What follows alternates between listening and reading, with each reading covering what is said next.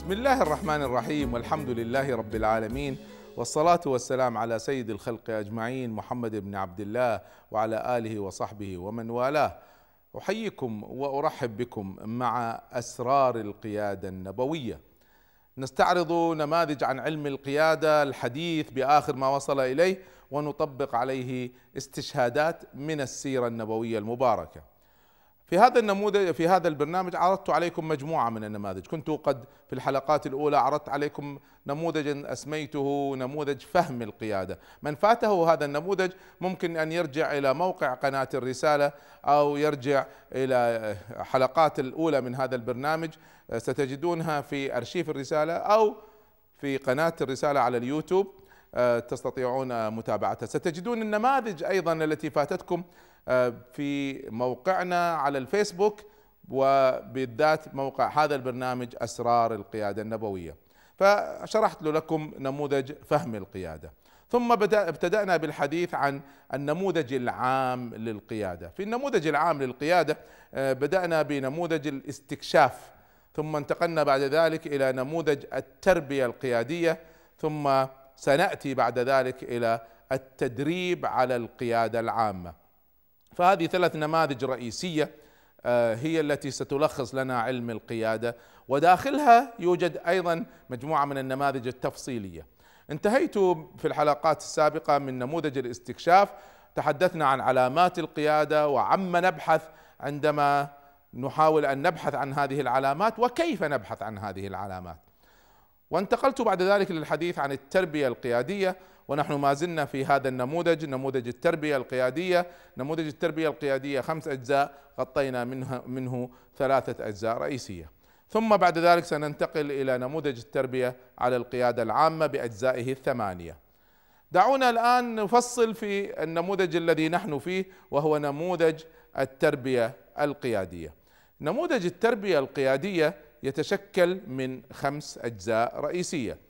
حدثتكم عن القناعات وفصلت في أجزائها الخمسة ثم تحدثت عن الاهتمامات وأيضا كانت لها أجزاء خمسة. وفي الحلقة الماضية تكلمت عن المهارات وتفاصيلها الخمسة. في هذه الحلقة سنتحدث عن العلاقات وفي الحلقة القادمة بإذن الله سنتحدث عن القدوات. اذا حديثنا اليوم سيكون عن العلاقات. العلاقات هذه قضية لا تخفى على أحد أحد أهميتها العلاقات مهمة جدا للأفراد للمنظمات للمؤسسات. الأفراد هذه العلاقات قد تتحول مع الأيام إلى قوة نفوذ خاصة في المجتمعات خاصة المجتمعات التي فيها ترهل وظيفي فيها روتين ممل وبالتالي الواسطة وكذا. تكون العلاقات هي الأساس فيها للأسف. حتى في الغرب على فكرة لما كنا نعيش في الغرب كانت العلاقات ما زالت موجودة والواسطة موجودة لكن هي درجات كم حجمها. وبالتالي تكون العلاقات والعلم والمعرفة سلاح هام لتذليل الصعاب، تذليل الأعمال، اكتساب السلوك أحيانا يكون متأثر الأخلاق والسلوك تتأثر بهذه العلاقات، تتأثر بالوسط بالوسط الذي يحيط بالإنسان، عن المرء لا تسل وسل عن قرينه، اسال عن أصحابه، فكل قرين بالمقارن يقتدي، لا شك أن الناس كثير من الناس يكتسبوا عادات حميدة أو عادات سيئة تقليدا لمن حولهم.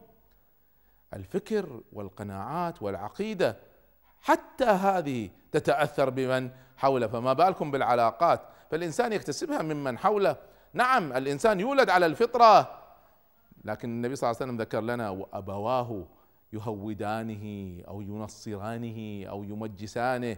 إذا الإنسان يأتي صافي لكن يأتي المجتمع من حوله وبالذات في فترة التنشئة فتشكل الإنسان. ولذلك عندما يكبر الإنسان يتضاءل مع الأيام تأثير الوالدين ويزداد تأثير الأصحاب ومع الأيام يتعلم الشاب أو الفتاة ممن حولهم أكثر من أبويهم يتعلمون الفكر الهوايات المهارات المختلفة لا شك المجتمع والبيئة من حولنا تشكلنا بشكل كبير وفي بعض الناس يستطيع أن يكسر هذا لكن قلة هم. النبي صلى الله عليه وسلم عاش في بيئات في العديد من البيئات ليس بيئة واحدة وكون العديد من العلاقات وسأستعرض معكم هذا الربط بين العلاقات وهذه البيئة التي عاشها النبي صلى الله عليه وسلم. كما تعرفون بعد أن ولد النبي صلى الله عليه وسلم عاش عند حليمة السعدية عاش في طفولته في بني سعد. ليش كانوا قريش يرسلون أولادهم لسببين رئيسيين؟ مكة مكان حج وبالتالي يأتي الناس من كل مكان ويأتي تأتي معهم الأمراض وخاصة في ذلك الوقت الطب ما هو متطور فهذه الأمراض تؤثر على الأطفال الصغار بالذات فكثرت فيهم الوفيات. فتعود أهل قريش أن بالذات في أول سنتين إلى أن يأخذ الطفل مناعة يربونه خارج مكة. فتربى النبي صلى الله عليه وسلم في بيئة صحراوية. البيئة الصحراوية سئل سئل لورنس العرب اللي هو ضابط المخابرات البريطانية اللي كان يعيش مع العرب والذي أشعل الثورة العربية الكبرى. قالوا له لماذا كنت تحب الصحراء؟ قال لأنها نظيفة. شوف الجواب. وفعلا الصحراء نظيفة. الصحراء ما فيها أمراض الصحراء ما فيها تلوث الصحراء ما فيها هذه المشاكل التي في المدن. فالنبي صلى الله عليه وسلم تربى في هذه البيئة الصحراوية. هذه البيئة الصحراوية تجعل الجسم قويا. ولذلك قيل عنه صلى الله عليه وسلم أنه وهو عمره سنتين كان شكله كطفل عمره ست سنوات. فهذا جزء من تشكيلته. لكن حديثي ليس فقط عن الجانب الجسدي حديثي بالذات هنا عن جانب العلاقات. فالبيئة الصحراوية بالإضافة إلى الجانب الجسدي تزكي الفطرة يعيش الإنسان يتأمل يتأمل في الكون يتأمل في الفضاء. وخاصة لما يكون يرعى الغنم بعد هذه تزيده فهو تربى في الصحراء ثم رعى الغنم وكلاهما يجعل عند الإنسان تأمل. فالبيئة تزكي الفطرة تطلق الفكر تطلق العواطف. وخاصة على فكرة قالوا تربية الغنم وليس تربية الإبل. تربية الغنم فيها جانب شديد من الرحمة تربية الإبل فيها كثير من الجلافة هذه هذه لينة لابد مراعاة هذه تلك خشنة. فكلها سبحان الله درسوها هذه المسألة وبالذات ابن خلدون رحمه الله تعالى. بالإضافة أن هذه البيئة بيئة بني سعد كان سبب ثاني قريش ترسل أولادها خارج مكة يرسلهم في الصحارى. الحرص على اللغة العربية الفصيحة الفصيحة. مكة كما ذكرت لكم يأتيها الناس من كل مكان عرب وغير عرب. فمع الأيام بعضهم تتأثر لهجته تتأثر لسانه. بعض الكلمات ما تكون فصيحة مئة بالمئة. بينما في بني سعد أصلا الكلام اليومي هو لغة عربية من أفصح ما يمكن. فإذا تربى هناك وتعلم وسيلة التواصل والتعبير مع الناس واستمر هذا التأثير هذه العلاقة البيئية الأولى استمرت مع النبي صلى الله عليه وسلم طول حياته. يقول أبو بكر الصديق رضي الله عنه للنبي صلى الله عليه وسلم ما رأيت أفصح منك يا رسول الله. ما في إنسان باللغة أفصح منك. فقال له ما يمنعني وأنا من قريش وأرضعت في بني سعد. طبعا. كلها هذه البيئة شكلته صلى الله عليه وسلم. كما نشأ النبي صلى الله عليه وسلم في أهم مركز ديني في كل الجزيرة العربية في مكة في مكان الحج والعمرة. تأتيها الوفود من كل مكان. فكانت فرصة للتعرف على قبائل العرب على أنساب العرب. بالإضافة أن مكة كانت من أهم المراكز التجارية في كل جزيرة العرب. والنبي صلى الله عليه وسلم كانت له هذه التجربة التجارية. كان يبيع ويشتري ويتعامل مع الناس ويكون علاقات تجارية وتعرفون تاجر في تجارة خديجة إلى الشام. فكل هذا كانت علاقات. أضيف إلى هذا أن هجرته للمدينة المنورة وسعت من علاقاته بالناس. هناك عايش ناس عرب غير أهل مكة غير غير قريش وعايش مع تعايش مع يهود. وتعايش مع بيئة زراعية. مكة ما هي بيئة زراعية. وطبيعة الزراعة في اقتصادياتها تختلف اختلاف جذري عن طبيعة التجارة. فإذا تنوعت هذه العلاقات عند النبي صلى الله عليه وآله وسلم. بناء العلاقات أو تنمية العلاقات هذا الجانب الرئيسي من التربية. فيه خمس أجزاء رئيسية تحت عنصر العلاقات أبدأ بها معكم بعد الفاصل إن شاء الله.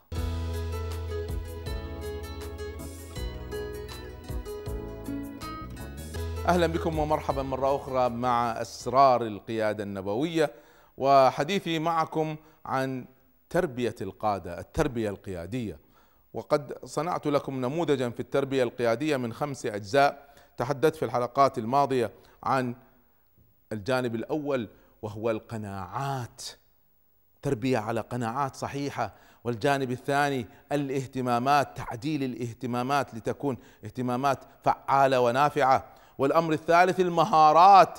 لأن الإنتاج يرتبط بالمهارات. وحديثي معكم اليوم عن الجانب الرابع من التربية القيادية وهو جانب العلاقات. في نموذجي في قضية العلاقات هناك خمس أجزاء تفصيلية آخذها معكم في هذه الرحلة في هذه الحلقة. ونبدأ بالجانب الأول وهو اختيار العلاقات. الاختيار اختيار العلاقات. إقامة العلاقات لابد أن يراعي مواصفات. هل طبيعة الشخص هذا آه، الذي سأبني معه العلاقة هل هو مرح هل هو عصبي هل هو بخيل هو كريم صبور ممل متهور رزين؟ ليس كل واحد طبيعته تركب مع طبيعتي. فلا بد أن أختار من يناسبني. أيضا جانب آخر وهو المستوى الثقافي. الناس مستوياتها الثقافية مختلفة. المستوى الثقافي يشمل مستوى التعليم مستوى الفكر القدرة على الحوار تقبل الرأي الآخر. يعني في ناس أنا ما ما أستطيع أتحمل طريقة تفكيره طريقة تفكير ساذجة أو جامدة. عقلي لا يتحمل هذا وبالتالي أنا ممكن أكون علاقة سطحية معه لكن ما أستطيع أبني معه علاقة حقيقية. هناك جانب ثالث يؤثر على العلاقات وهو البيئة الاجتماعية. بعض العلاقات لا تنجح بسبب حجم الاختلاف في البيئة الاجتماعية. طبيعة التقاليد التي تحكم الطبقات الارستقراطية كما يقولون الغنية المترفة غير التي آه، للعمال والفلاحين. فاحيانا هنا العلاقة ما تركب. أيضا الهوايات المهارات. الدراسات واضحة كلما تقاربت المهارات والهوايات زادت درجات العلاقة ودرجات السعادة. فقد تكون المهارات والهوايات سبب من أسباب نجاح العلاقات. اختيار الصديق المناسب هذه مسألة ليست سهلة. فارق السن كمثال. بعض العلاقات من المهم أن السن يكون متقارب. وبعض العلاقات تحتاج أن يكون هناك فارق سن واضح. مثلا طالب العلم علاقته مع شيخه.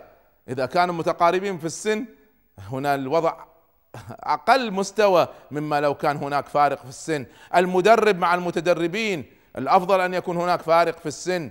ليس ضروري لكن هذا أفضل. رسولنا الكريم صلى الله عليه وسلم اختار أبي بكر الصديق وجعله أعز أصحابه أعز أصدقائه. أبو بكر الصديق يقول عنه النبي صلى الله عليه وسلم إن من أمن الناس علي في صحبته وماله أبا بكر. ولو كنت متخذا خليلا من أمتي لاتخذت أبا بكر خليلا.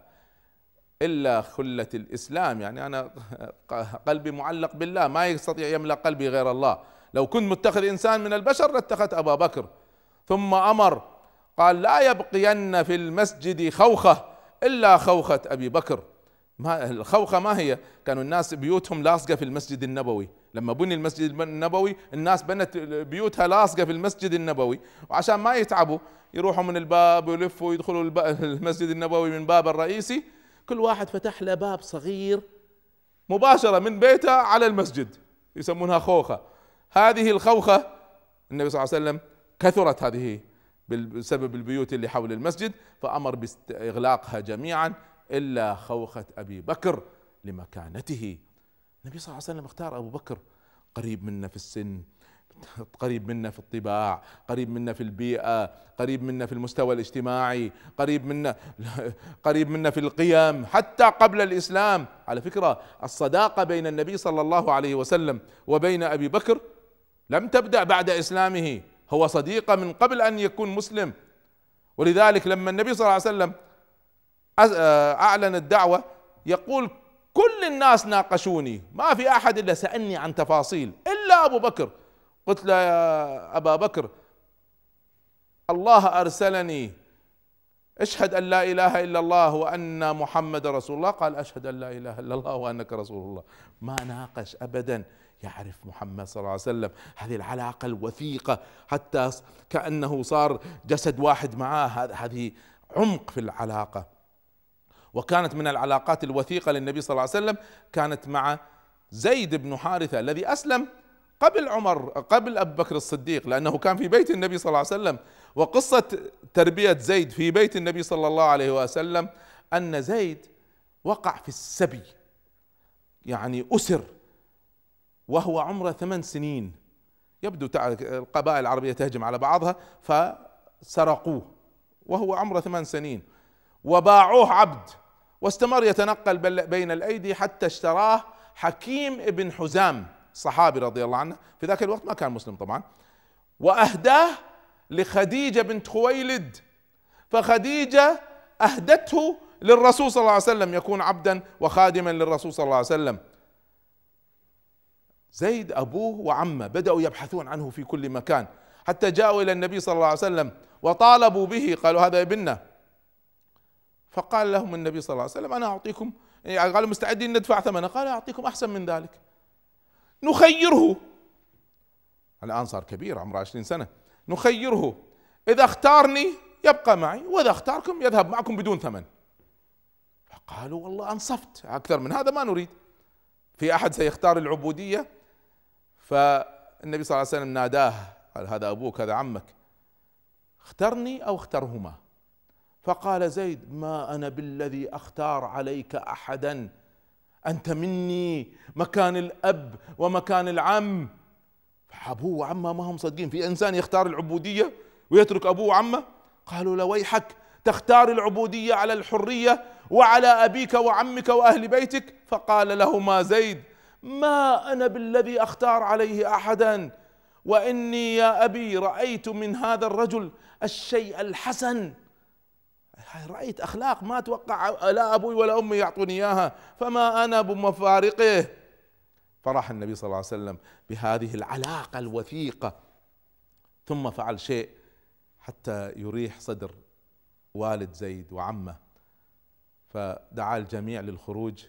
إلى صخرة أمام الكعبة فوقف عليها وبدأ ينادي يا أهل قريش اشهدوا هذا زيد ابني يرثني وأرثه. خلاص حرره وصار ابنه حتى سموه زيد بن محمد. فلما رأى ذلك أبوه وعمه طابت نفوسهما وانصرفا. طبعا هذا قبل تحريم التبني. فالعلاقات كانت وثيقة عند النبي صلى الله عليه وآله وسلم. اذا اختيار العلاقات النبي صلى الله عليه وسلم كان يختار والصحابة كانوا يختاروا. ليس صحيحا ليس صحيحا أن الناس يبني علاقة مع جميع الناس. هذا خطأ. في ناس ما تبنون علاقة معاهم. الثرثار لا تبنى علاقة معاه. الكذاب لا تبنى العلاقة معاه. أصحاب السوابق لا تبنى العلاقة معاه اللي شهواته تغلبه وتسيطر عليه اللي مشاكله لا تنتهي مشاكل مالية سجن إلى سجن هذه لا تبنوا علاقة معاه علاقات سطحية ما تبني علاقات عميقة. فإذا ليس كل الناس نبني معهم علاقات. في بعض الناس عنده هوس علاقات يريد يبني علاقات مع الجميع. هذا خطأ وإنما اختار في علاقاتك. إذا هذا هو هذه هي القاعدة الأولى. نعود لنموذجنا. إذا الجزء الأول كان الاختيار. عنصر آخر رئيسي من بناء من فهم العلاقات والتربية على العلاقات بناء العلاقات. بناء العلاقات. الإنسان حوله دوائر في دوائر حولنا. تذكروا هذا المفهوم. تبدأ دوائر الإنسان في العلاقات مع نفسه. مع والدته طبعا أكثر من أبيه ثم مع أبوه ثم مع أخوانه وأرحامه ثم مجتمعه ثم أمته ثم العالم كله. وتتنوع الأساليب وانماط التواصل حسب كل دائرة من هذه الدوائر وحسب كل حالة وحسب كل موقف. اذا هذه العلاقة أحيانا قد تأخذ شكل النصيحة قد تأخذ شكل الولاية. الولاية المحبة والنصرة. قد تأخذ شكل التواصي قد تأخذ شكل الموعظة قد تأخذ شكل التعلم. هناك أشكال في هذه المسألة. فبناء العلاقات يعني اخترت العلاقة الآن ماذا أريد من هذه العلاقة؟ في علاقات لا أريد منها شيء سوى رضوان الله عز وجل والجوانب العاطفية علاقتي يعني بأهلي بأحبابي وفي علاقات أريد منها شيء أريد منها أن العلم أريد منها أن نساند بعضنا في مشروع إسلامي أو ثقافي أو مالي أو غيره. النبي صلى الله عليه وسلم كان واضح في هذه المسألة. واتخذ صلى الله عليه وآله وسلم خطوات عديدة في بناء العلاقات حسب ما يناسب كل شخص. مع حذيفة بن اليمان اتخذه أمين سر. أسرار النبي صلى الله عليه وسلم عنده.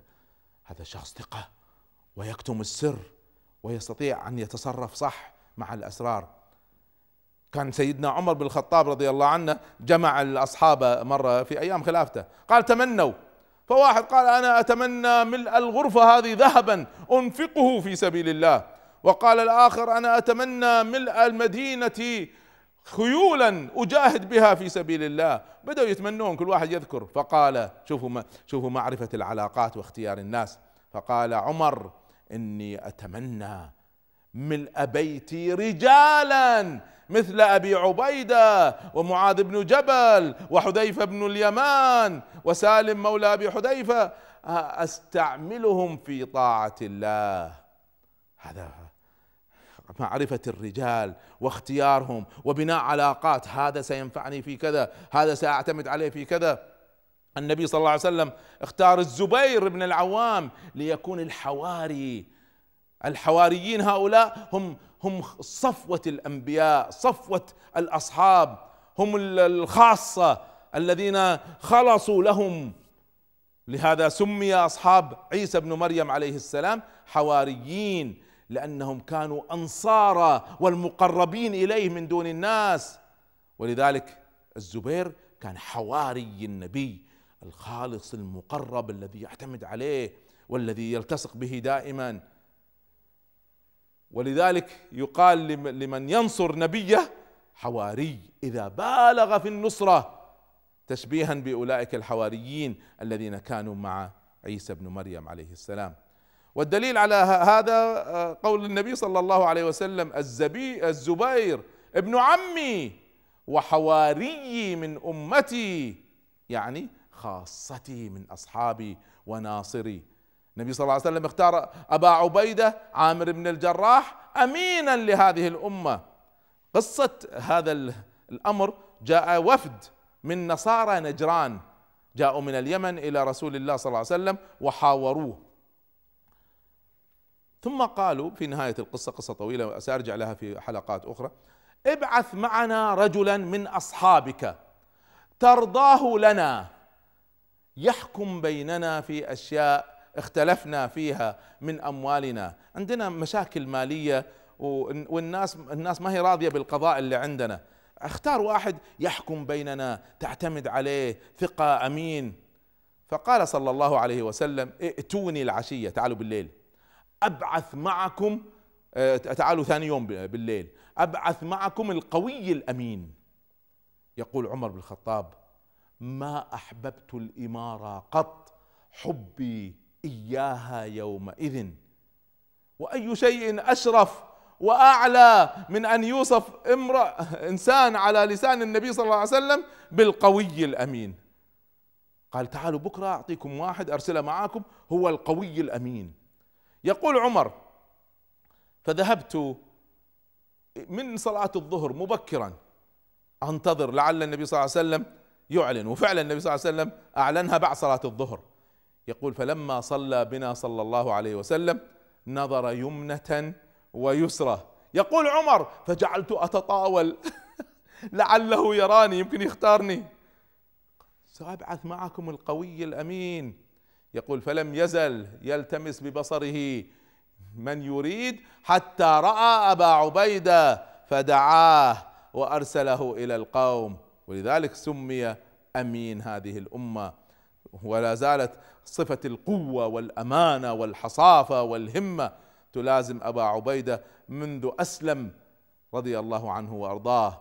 يقول سيدنا عمر بن الخطاب والله لو كان أبو عبيدة حيا ما جعلتها شورى. لو لما جاءته المنية واضح. القوي الأمين أختاره هو للامه اذا هذا بناء العلاقات بناء العلاقات. القاعدة الثانية في التربية القيادية على العلاقات. قاعدة ثالثة أحدثكم عنها بعد الفاصل إن شاء الله.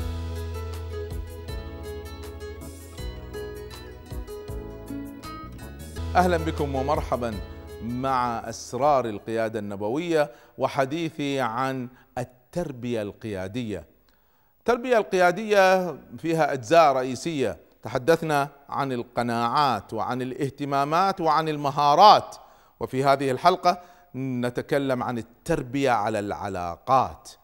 حدثتكم في التربية عن العلاقات على نموذجنا عن ثلاث أمور والآن ننتقل إلى العفو تكلمنا عن أمرين والآن ننتقل إلى الأمر الثالث وهو العمق في العلاقات.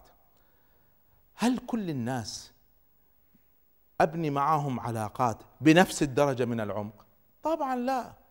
في ناس علاقات سطحية في ناس علاقات وسط في ناس علاقات عميقة في ناس حواري هذا الصحبة العميقة الشلة الخاصة كما يقولون. ولذلك من القواعد النبوية الرائعة في مجال عمق العلاقات قول النبي صلى الله عليه وسلم الذي يرويه الإمام الترمذي أحبب حبيبك هونا أحبب حبيبك هونا ما عسى أن يكون بغيضك يوما ما. وابغض بغيضك هونا ما. عسى أن يكون حبيبك يوما ما. يعني لا تبالغ في الحب ولا تبالغ في البغض إلا باستثناءات لأن في الناس ممكن تتغير. لا نجد في كل التاريخ علاقات عميقة كالتي كانت بين الرسول صلى الله عليه وسلم والصحابة الكرام. وصل بهم الأمر إلى عدم الصبر على مفارقة الرسول صلى الله عليه وسلم على حبهم لصحبته حبهم لمجلسه. وصل الامر شيء خيالي من أعجب ما قرأت في ذلك ما روته السيدة عائشة رضي الله عنها وعن أبيها حين قالت جاء شقران. شقران هذا عبد كان عند النبي صلى الله عليه وسلم حرره. العبد إذا تحرر يسمى مولى. فشقران مولى رسول الله صلى الله عليه وسلم. وظل يخدم النبي صلى الله عليه وسلم. يعني النبي صلى الله عليه وسلم حرره قال أنت حر لوجه الله ظل. مع أنه حر. ظل يخدم النبي صلى الله عليه وسلم. فجاء شقران يوما إلى رسول الله صلى الله عليه وسلم فقال شوفوا شوفوا الآن شيء عجيب من الحب من عمق العلاقة. فقال يا رسول الله والله إنك لأحب إلي من نفسي وأهلي وولدي ويصف هذا يقول وإني لأكون في البيت. فأذكرك أتذكر. أكون في بيتي فأتذكرك. فما أصبر حتى آتيك. فأنظر إليك ما أرتاح لما أشوفك. وإذا ذكرت شوفوا شوفوا الآن شيء عجيب. يقول وإذا ذكرت موتي وموتك. أنا سأموت وأنت ستموت. إذا ذكرت موتي وموتك عرفت أنك إذا دخلت الجنة رفعت مع النبيين وأنا إذا دخلت الجنة خشيت أن أكون تحت في الجنة فلا أراك. فتخيلوا هذا الحب. هو الآن مشفق مش فقط على الدنيا هو مشفق حتى على الآخرة. أن ما يكون في الجنة ويفقد رؤية النبي صلى الله عليه وسلم. حتى لو كان في الجنة النبي صلى الله عليه وسلم في الدرجات العلى وهو في الدرجة السافل الدنيا من الجنة فلا يصل إلى النبي ولا يراه. فخايف من الفراق أن ما يشوفه في الآخرة. فهنا لم يرد عليه النبي صلى الله عليه وسلم شيئا حتى نزل جبريل عليه السلام بهذه الآية. ومن يطع الله ورسوله فأولئك مع الذين أنعم الله عليهم من النبيين. وقال النبي صلى الله عليه وسلم له يا شقران يحشر المرء يوم القيامة مع من أحب. انظر من تحب حب عميق أنت ستكون معه يوم القيامة. فشقران فرح لأنه يحب النبي صلى الله عليه وسلم حبا شديدا فسيكون معه في الجنة. الصحابة وصلهم الخبر.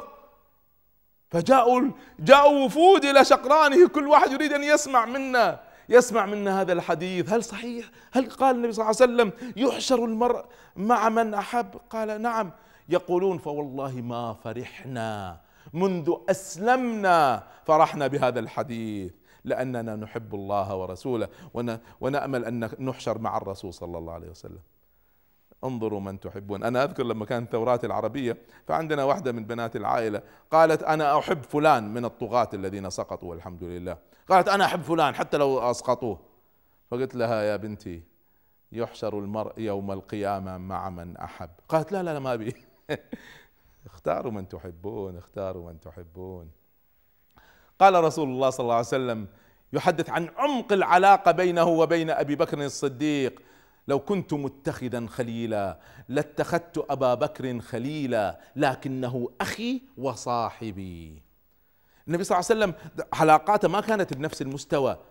عنده علاقات عميقة جدا مع قليل جدا من أصحابه وعلاقات أحسن آه، أقل مع عدد أكبر وعلاقات أقل مع عدد أوسع وعلاقات مع عامة الناس. درجات. علاقة مع الأهل غير علاقة مع الأصحاب المقربين غير الأصحاب غير المقربين غير الناس. فيقول سيدنا علي بن أبي طالب رضي الله عنه إني كنت أسمع كثيرا رسول الله صلى الله عليه وسلم يقول ذهبت أنا وأبو بكر وعمر دخلت أنا وأبو بكر وعمر خرجت أنا وأبو بكر وعمر. هذا من الذي يرويها علي؟ قل النبي صلى الله عليه وسلم من شدة علاقته بأبي بكر وعمر كانت دائما على لسانه. كان دائما على لسان أبو بكر وعمر. كان دائما يخرج ويدخل ويأكل معهم كان الرسول صلى الله عليه وسلم يعرف كل شخص من أصحابه. صعد النبي صلى الله عليه وسلم يوما على جبل أحد فتبعه أبو بكر وعمر وعثمان وارتج الجبل. فضربه النبي صلى الله عليه وسلم برجله وقال اثبت أحد. أثبت أحد فإنما عليك نبي وصديق وشهيدان. النبي صلى الله عليه وسلم قاعد يبشرهم يعرف قيمتهم يعرف الناس بقيمتهم. انظروا إلى عمق معرفة النبي صلى الله عليه وسلم بأصحابه. يقول أبو ذر رضي الله عنه قلت يا رسول الله ألا تستعملني؟ خليني أتولى منصب. قال فضرب بيده على منكبي ثم قال يا أبا ذر إنك ضعيف وإنها أمانة وإنها يوم القيامة خزي وندامة إلا من أخذها بحقها وأدى الذي عليه فيها. فرغم معرفة النبي صلى الله عليه وسلم بصدق أبي ذر هو الذي قال عنه ما اقلت الغبراء يعني الأرض ولا أظلت الخضراء من رجل أصدق من أبي ذر.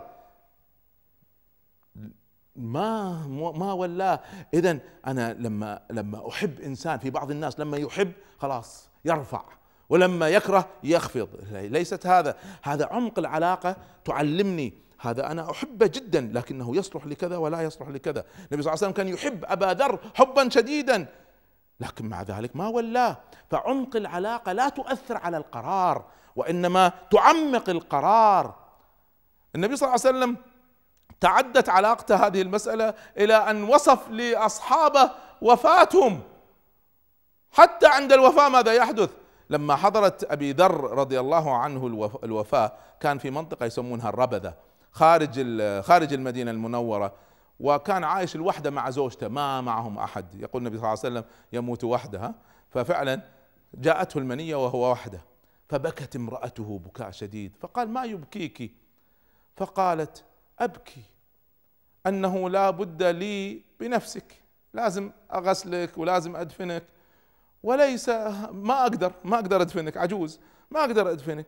وليس عندي ثوب يسع لك كفنا ما عنده حتى ثوب أقدر أكفنك فيه. كيف ما أبكي؟ فقال لها لا تبكي. فإني سمعت رسول الله صلى الله عليه وسلم يقول ليموتن رجل منكم كان يكلم مجموعة من الصحابة ليموتن رجل منكم بفلاة من الأرض يعني بأرض صحراء. تشهده عصابة من المؤمنين. العصابة يعني المجموعة أقل من أربعين. فهو يخبرها أن هو سمع هذا من النبي صلى الله عليه وسلم وهو مع مجموعة من الصحابة. ثم قال فكل من كان معي في ذلك المجلس مات في جماعة وفي قرية ولم يبقى منهم غيري. أنا الوحيد اللي بقيت وأنا الوحيد اللي في صحراء وما عندي أحد. وقد أصبحت بالفلاة أموت. فراقب الطريق فإنك سوف ترين ما أقول. شوفوا تصديقهم بالنبي صلى الله عليه وسلم. سيأتي ستأتي جماعة ما راح لا تخافي سيأتون يدفنوني. فإني والله ما كذبت ولا كذبت. أنا ما كذبت والرسول صلى الله عليه وسلم ما كذب علي. قالت وإن على ذلك قد تقول له تقول له قاعدين وإحنا على هذا الحال. تقول له كيف؟ قد انقطع الحاج انتهى الحج ما في أحد يأتي ويذهب في هذا الطريق. قال راقب الطريق. قالت فبينما هم كذلك إذا بالقوم تخب بهم رواحلهم قافلة جاية. فشافوا امرأة ومعها رجل على الطريق فأقبل القوم حتى وقفوا عليها. فقالوا ما لك؟ فقالت امرؤ من المسلمين تكفنوه وتؤجرون فيه. تغسلوه تدفنوه تكفنوه. قالوا من؟ قالت أبو ذر. قالوا نفتيه بآبائنا وأمهاتنا. فابتدروه وبدأوا يعني بعد ما مات يتكلمون معه ويبشروه. قال أنتم أبشروا. أنتم النفر الذين قال عنهم رسول الله صلى الله عليه وسلم تدفنه أو يعني تحضره عند وفاته. جماعة من المؤمنين بشركم أنكم من المؤمنين. هذا النبي صلى الله عليه وسلم يخبرهم حتى عن وفاتهم. وكان تصديقهم كامل تصديقهم كامل. اذا هذا عنصر رئيسي من عناصر بناء العلاقات أو تنمية العلاقات. عنصر آخر من قضية التربية على العلاقات إنهاء العلاقة متى ننهي العلاقة متى نقطع العلاقة سأحدثكم عن هذا الأمر الهام بعد الفاصل إن شاء الله.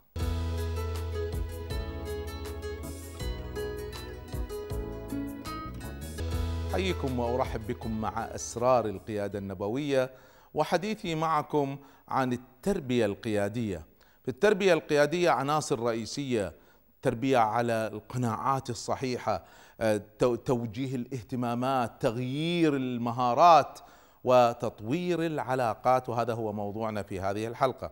العلاقات هذه ليس فقط أن الواحد يبني علاقات لا لها قواعد. حدثتكم عن بعض هذه القواعد ودعونا نأخذ قاعدة أخرى من قواعد العلاقات وهي قطع العلاقات أو إنهاء العلاقة. أحيانا العلاقة يجب أن تتوقف يجب أن تلغى. لا تستمر. قد يتبدى لك من الطرف الآخر في العلاقة موقف أو تصرف أو تعلم معلومات جديدة تجعلك تقرر إنهاء هذه العلاقة. وخذوها قاعدة اكتبوها إن شئتم. العلاقات تبنى تدريجيا. لكن عند القرار في قطع العلاقة في إنهاء العلاقة تقطع دفعة واحدة. تنتهي دفعة واحدة ليس بالتدريج. هنا رسالة خاصة لبناتنا.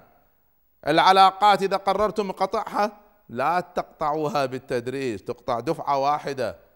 هذه المسألة في علم العلاقات واضحة في تجربتنا في الحياة واضحة وأيضا في السيرة النبوية واضحة. قصتان في السيرة كانت المواقف فيها واضحة في قضية قطع العلاقة. القصة الأولى قصة سيدنا زيد زيد بن حارثة رضي الله عنه وزينب بنت جحش رضي الله عنها. زيد الذي تربى في بيت النبي صلى الله عليه وسلم حتى سمي زيد بن محمد قبل تحريم التبني. وزينب بنت جحش الأسدية التي هي بنت عمة عمة النبي صلى الله عليه وسلم. هي بنت أميمة أميمة بنت عبد المطلب. فزينب بنت عمة النبي صلى الله عليه وسلم. النبي صلى الله عليه وسلم زيد كان عبد عنده ثم حرره ثم تبناه. وبعدين اختار له زينب. زينب رفضت. ما تريد هذه العلاقة. هي زينب من بني أسد من سادات العرب بنت عم النبي عمة النبي صلى الله عليه وسلم. الآن يتزوجها واحد كان عبدا فأنفت ما قبلت. لكن النبي صلى الله عليه وسلم كان يريد أن يكسر هذه الأمور. أن التفاضل بين الناس هو بالتقوى هو بالدين هو بالفضل في الإسلام وليس بهذه الأمور. فأصر عليها فاستجابت. لكن سبحان الله العلاقة ما كانت جيدة. العلاقة كانت دائما متوترة. ظلت العلاقة سنة تقريبا كلها توتر. على فكرة هنا قاعدة في قضية العلاقات. أحيانا يكون أحد الطرفين ممتاز جدا والطرف الثاني ممتاز جدا. لكن العلاقة سيئة. ولذلك إذا في علاقات سيئة ليس بالضرورة أن أحد الطرفين سيء. أحيانا سبحان الله ما يركبون على بعض. فلا نطعن بأحد الطرفين. زيد من خيرة أصحاب النبي صلى الله عليه وسلم. زينب من خيرة الصحابيات. ثم صارت أم المؤمنين رضي الله عنها ومن خيرة أمهات المؤمنين. لكن العلاقة ما مشت. فزينب بدأت تضغط على زيد أن يطلقها. تريد أن تنهي العلاقة. زيد رافض. رافض أن يقطع العلاقة يريد أن يستمر في العلاقة. إلى أن وصلت المسألة إلى توتر شديد وزيد خلاص قرر أن يقطع العلاقة. النبي صلى الله عليه وسلم عرف من خلال إشارات الوحي أن الله سبحانه وتعالى يريد أن يزوج بزينب. وزينب زوجة زيد اللي كان يعتبر ابنه فخاف أن يتكلم الناس عليه تزوج زوجة ابنه. لكن هو ليس ابنك هو ابن بالتبني. والله سبحانه وتعالى أراد أن يلغي التبني هذا ويلغي كل آثاره وأفضل طريقة لإلغائه بحيث ما يبقى أي حرج هو أن يمارسه النبي صلى الله عليه وسلم بنفسه. فظل النبي صلى الله عليه وسلم يقول له لا تقطع العلاقة اصبر أمسك عليك زوجك. لكن حسمت المسألة من قبل الله عز وجل وطلقها زيد وبعد انتهاء عدتها تزوجها الرسول صلى الله عليه وسلم بأمر من السماء. ف كان مفروض هذه العلاقة تقطع من قبل ذاك العلاقة ما هي ماشية. فانتهت العلاقة بهذه الطريقة. قصة أخرى هي قصة بريرة ومغيث قصة في الصحيح. بريرة كانت عبدة أمة وكانت جارية عند السيدة عائشة رضي الله عنها. ومغيث كان زوج بريرة وأيضا عبد. ثم إن بريرة حررت. صارت حرة. الأمة إذا صارت حرة وهي متزوجة من حقها أن تقرر تبقى مع زوجها ولا تتركه لأنه ما زال عبد. بريرة ما تحب مغيث فقررت أن تتركه. قرار واضح قطع العلاقة. شوفوا قطع العلاقة لما تكون صح. فقطعت العلاقة. مغيث يحبها حب شديد يعشقها. فرفض أن تقطع العلاقة حاول معها وهي رافضة. وهو مصر ارجعي لي ارجعي لي. وهو هي رافضة خلاص قطعت العلاقة انتهت. فظل يمشي وراها. هكذا في الحديث صار يسير وراءها في شوارع المدينة. هي تمشي وهي وراه هو وراها. يبكي يبكي والناس تنظر إليه. وهي رافضة تعيد العلاقة. فبدأ يوسط الناس. والناس تذهب إليها ارجعي له وهي رافضة. فوصل الأمر أن وسط النبي صلى الله عليه وسلم. قال يا رسول الله دخل في الموضوع. فذهب معه النبي صلى الله عليه وسلم بنفسه وكان معه أبو بكر. فذهب إلى بريرة. قال يا بريرة ارجعي إلى مغيث. قالت يا رسول الله أتشفع أم تأمر؟ شوف الصحابة كانوا واضحين. إذا كان أمر نبوي خلاص يسلموا. إذا أمر بشري من حقهم أن يرفضوا. فأنت تشفع ولا تأمر؟ قال بل أشفع. قالت والله ما أعود إليه. قطع علاقة يعني قطع علاقة انتهت. فالنبي صلى الله عليه وسلم بنفسه ما استطاع يفعل شيء والتفت إلى أبي بكر فقال يا أبا بكر ألا تعجب؟ من حب مغيث لبريرة ومن بغض بريرة لمغيث كيف تستمر معه وهي ما قدرت تحبه؟ فإذا كانت انتهاء حتى لو الطرف الآخر محب وراغب وكذا لكن المسألة العلاقة هي طرفين وليس طرف واحد. لا تبنوا العلاقات بناء على شفقة. ما يبنى زواج على شفقة. ما يبنى توظيف على شفقة. هذا أسباب سيئة للعلاقات. فإذا إذا قررنا أن نقطع نقطع. هذا الجانب الرابع من فهم العلاقات. ننتقل إلى نموذجنا مرة أخرى وننتقل إلى الجانب الخامس من العلاقات وهو إصلاح العلاقات. بعض العلاقات من الأفضل أن تنتهي لكن بعض العلاقات يجب إصلاحها. كيف؟ ما هي العلاقات التي يجب إصلاحها؟ العلاقات الواجبة شرعا. ما يجوز واحد يقطع علاقته مع والديه. ما يجوز قطع العلاقات مع الأرحام. فعلاقات الرحم لا يجوز قطعها. يجب أن تستمر حتى لو كانت في منتهى السوء. في الحديث ودعونا نعرض لكم هذا الحديث جاء رجل إلى النبي صلى الله عليه وسلم فقال يا رسول الله إن لي قرابة يعني ارحام أصلهم ويقطعوني وأحسن إليهم ويسيئون إلي وأحلم عنهم ويجهلون علي. أهلي أقاربي سيئين في علاقتهم معي. مع إحساني لهم. فقال صلى الله عليه وسلم لئن كنت كما قلت. يعني إذا أنت فعلا صادق. فكأنما تسفهم المل. المل هو الرماد الحار. تسفهم يعني تضع في أفواههم الرماد الحار. ولا يزال معك من الله تعالى ظهير عليهم. ما دمت على ذلك. استمر في العلاقة. أنت إيش خسران؟ هم الذين سيخسروا. أنت بإحسانك ستأخذ أجر وهم يأخذوا إثم كأنك تضع الرماد الحار في في أفواههم. وتسفهم يعني تلقمهم الرماد الحار. فهذا كناية على أن هذا الرجل منتصر عليهم منتصر عليهم. فهنا العلاقة واجبة وإصلاح العلاقات في هذه الحالة واجب. اذا إصلاح العلاقات أحيانا يكون مهم جدا لدرجة أن الإسلام رغم بغض الإسلام للكذب إلا أن الإسلام أجاز إن في حالة محاولة إصلاح بين متخاصمين خاصة إذا كان الخلاف بينهم ناتج عن سوء فهم أو لحظة انفعال غير مدروسة. فمن حقي أن أكذب من أجل إصلاح العلاقة. جاء ذلك في صحيح مسلم. ليس الكذاب الذي ينمي خيرا أو يقول خيرا. الذي ينمي خير يعني يحاول يصلح بين الناس. هذا الحديث يرويه البخاري. بل إن الإسلام اعتبر الاصلاح بين الناس من الأعمال العظيمة في الدين. يقول الرسول صلى الله عليه وسلم ألا أخبركم بأفضل من درجة الصيام والصدقة والصلاة؟ ألا أخبركم بأفضل من درجة الصيام والصدقة والصلاة؟ طبعا المقصود درجة الصيام النافلة الصدقة النافلة صلاة النافلة ليست الفرض. فقال أبو الدرداء رضي الله عنه بلى. قلنا بلى يا رسول الله. قال إصلاح ذات البين. وفي قصص كثيرة في هذه المسألة لكن أدركنا وقت الحلقة. فدعونا نكتفي بهذا الفهم للعلاقات. ودعوني أكرر معكم نموذج العلاقات. اولا ألخص فيه الخمس أمور الرئيسية لهذه العلاقات.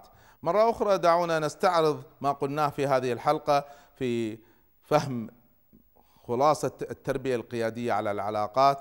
العلاقات ليس فقط بناء العلاقات وإنما اختيار هذه العلاقة قبل بنائها ثم بناء العلاقة ثم بعد ذلك نحدد ما هي العلاقات التي نريد أن نتعمق فيها والتي لا نريد ثم متى يجب أن نقطع العلاقة ومتى يجب أن نصلح العلاقة. كان هذا حديثي معكم في هذه الحلقة. إن شاء الله تكونوا استفدتوا واستمتعتوا.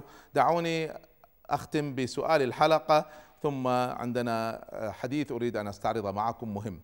أي العلاقات أفضل؟ اختاروا. علاقات عميقة مركزة لكن مع عدد قليل من الناس. أم علاقات واسعة مع أعداد كبيرة من الناس؟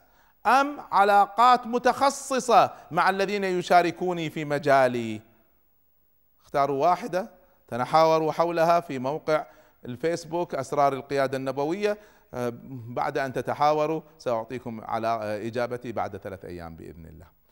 أختم بحديث للنبي صلى الله عليه وسلم سينبني عليه قوله مهمة. الحديث أن النبي صلى الله عليه وسلم أرسل بعثا إلى اليمن ليحاربوا بني صداء فشفع فيهم واحد من بني صداء هؤلاء شفع فيهم عند النبي صلى الله عليه وسلم وأسلم وجاء بوفد منهم معلنين أسلامهم. كان هذا الشفيع مطاع فيهم فوقف حرب ودخلهم في الإسلام وجاء وطلب من الرسول صلى الله عليه وسلم أن يؤمره عليهم. الآن هذا الرجل طلب الإمارة. الحديث صحيح. فأجابه إلى ما طلب. النبي صلى الله عليه وسلم أعطاه الإمارة. اذا ليس دائما كل واحد يطلب الإمارة نرفض إمارته. هناك حالات يجوز فيها طلب الإمارة. يلخصها الإمام العظيم ابن قيم الجوزية في كتابه العظيم زاد المعاد في هدي خير العباد. من أعظم الكتب التي استفدت منها يلخص لنا سيرة النبي صلى الله عليه وسلم لكن في حياته الإنسانية ويعلق على بعض الأمور ومنها هذه المسألة. يقول ابن القيم جواز تأمير الإمام وتوليته لمن سأل ذلك إذا رآه كفءا ولا يكون سؤاله مانعا من توليته فليس كل من طلب الإمارة يمنع من توليها. إذا كان الإنسان كفؤ ومخلص فهذه الحالة يجوز. وفي ذلك قول يوسف عليه السلام اجعلني على خزائن الأرض إني حفيظ عليم. هناك بعض الناس يظنون أن ممنوع أي واحد يطلب الإمارة ممنوع. هذا غير صحيح. الحديث واضح وصريح وصحيح في هذه المسألة.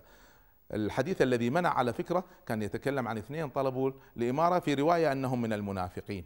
ف احببت أن أشارككم بهذه المعاني. إن شاء الله تكونوا استفدتوا واستمتعتوا. سنختم في الحلقة القادمة نموذج التربية القيادية. في جزئه الأخير وبعد ذلك ننطلق نحو التدريب على القيادة العامة. استودعكم الله والسلام عليكم ورحمة الله وبركاته.